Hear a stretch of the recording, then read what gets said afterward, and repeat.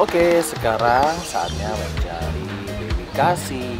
Kira-kira ke mana ya baby kasih pergi sama Mama Dums? Hmm, sini tempatnya enak juga nih, dengan permainan buat anak-anak.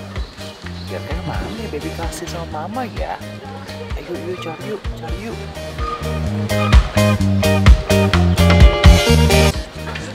Hai. Hai dulu. Hai, Kasih mau naik kereta. kereta. Ini kereta atau mobil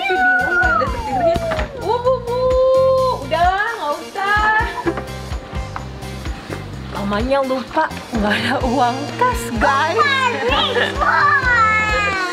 Ayo, let's go yuk. Oke, kita ke lapangan golf yuk. Bye, kasih.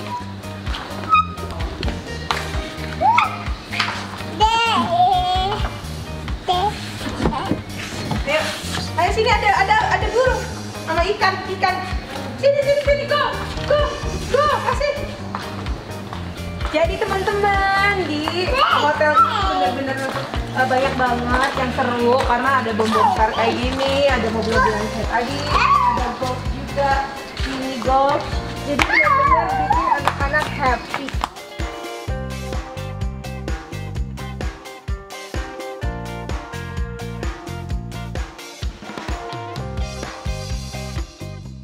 Nginep di Royal Safari Garden ini banyak sekali pilihan-pilihan atau wahana untuk bermain anak. Salah satunya adalah mini golf. Di sini kita bisa bermain golf di tempat ini nih. Tapi Baby Kasih nggak bermain golf. Cuma mau lihat aja apa sih tempat ini. Hehehehehe.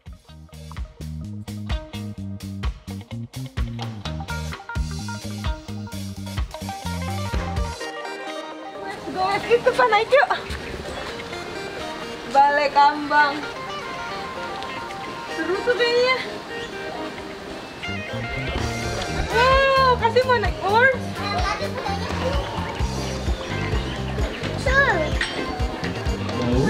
Hai hai. Kasih sudah ada di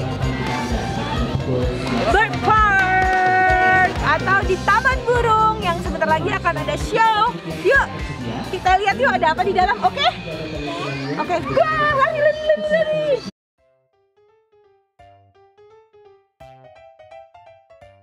Oke, saatnya kita melihat pertunjukan hewan-hewan di Bird Park.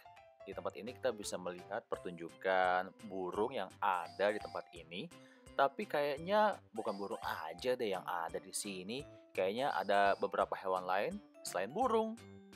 Yuk kita duduk dulu yuk. Yuk sambil nunggu pertunjukannya di Bird Park ini. Kira-kira hewan apa ya yang ada? Hmm, ayo dong mulai. Kasih udah nggak sabar nih. Mau lihat pertunjukan hewan di Bird Park. Baik, halo semuanya, selamat siang. Apa kabar hari ini?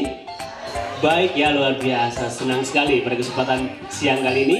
Kami keluarga besar dari Super Garden dapat mempersembahkan suatu rangkaian penampilan dari satwa-satwa terampil dalam salah satu bentuk fungsi pengenalan satwa bersama anjing piton dan juga burung-burung tampil. Dan terima kasih pada Anda semuanya sudah telah memilih menginap dan berlibur dari Safari Garden Akhirnya mulai juga nih mama nih. Kayaknya seru ya Ma ya. Tuh omnya lagi ngejelasin. Apa aja yang ada di Bird Park ini lu mama. Tuh mana sih hewannya kok nggak muncul. Oh hewannya lagi narik bendera ke atas lu mama. Tuh tuh lihat tuh. Itu juga tuh yang sebelah situ tuh. Tuh tuh tuh mah mah. Tuh. Ih hewannya lagi jalan mau narik bendera ke atas. Saatnya narik bendera. Ya ya ya Mana sih? Tarik dong. Ya.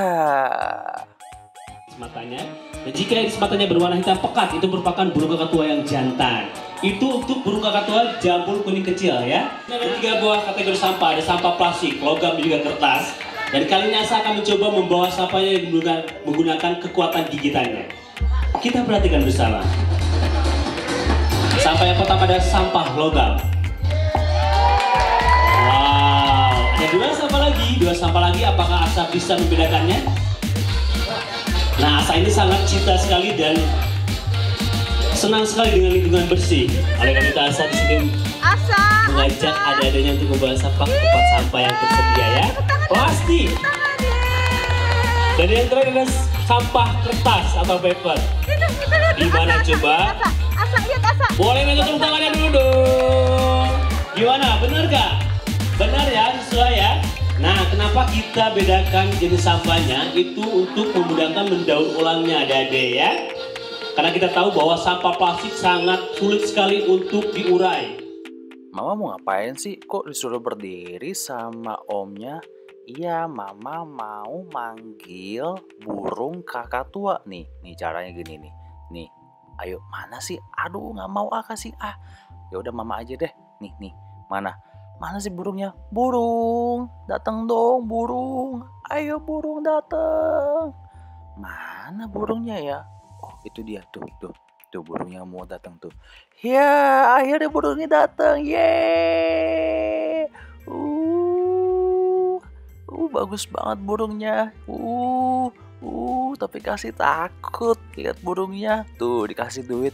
Balik lagi nih burungnya. Huh. Ya.